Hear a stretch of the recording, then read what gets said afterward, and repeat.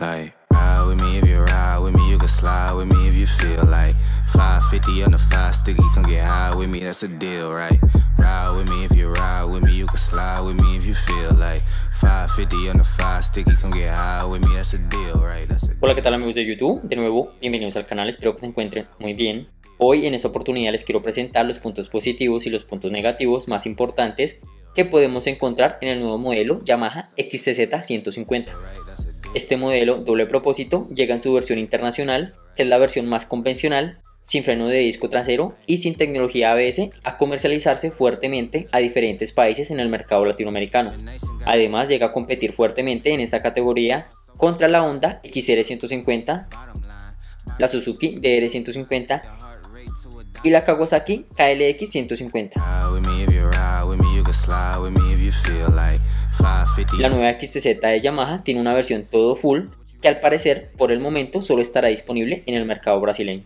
De igual manera, la versión convencional llega al mercado colombiano con un precio de lanzamiento de 8.500.000 pesos, unos 2.800 dólares americanos y unos 48.000 pesos mexicanos. with me if you ride with me, you can slide with me if you feel like 550 on the Como cuarto punto positivo, destacamos su diseño exterior, que está inspirado en su hermana mayor, la XTZ 250, el cual es bastante agresivo y aerodinámico. Adelante resalta un guardabarro alto y sobresalen las aletas laterales del tanque.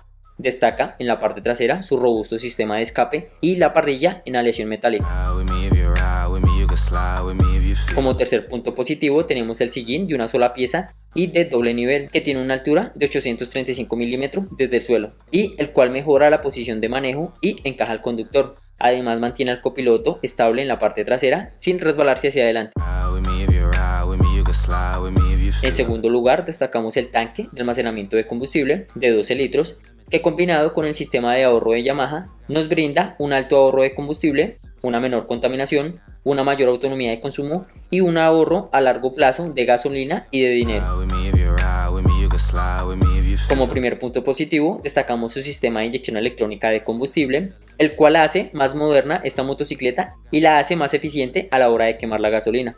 Igualmente, con la inyección vamos a tener un consumo más estable mientras nos transportemos por diferentes pisos térmicos o diferentes altitudes. Ride with me if you ride with me, you can slide with me if you feel like 550 Como tercer punto negativo, en este nuevo modelo de Yamaha tenemos el sistema de iluminación, que desafortunadamente es de bombillo halógeno convencional y que a pesar de cumplir con su función, esperaríamos que para este tipo de motos la luz principal sea full LED de alta durabilidad y mejor desempeño. Como segundo punto en contra, podemos notar la ausencia del encendido de patada o de pedal, que siendo esta una motocicleta doble propósito y destinada en gran parte al trabajo, este accesorio es importante e indispensable en determinados momentos.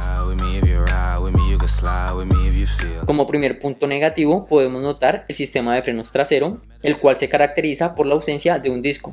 Y en cambio tenemos el legendario y antiguo freno de tambor diseñado hace más de 100 años y el cual está presente en esta motocicleta para hacerla un poco más económica y asequible en el mercado. Bueno parceros, espero que el video y toda la información les haya gustado y la idea del canal es compartir todas las novedades que se presentan en el mundo de las motos. No olviden suscribirse al canal, activar la campanita de notificaciones, dejar la manito arriba y compartir el video en redes sociales. Hasta la próxima.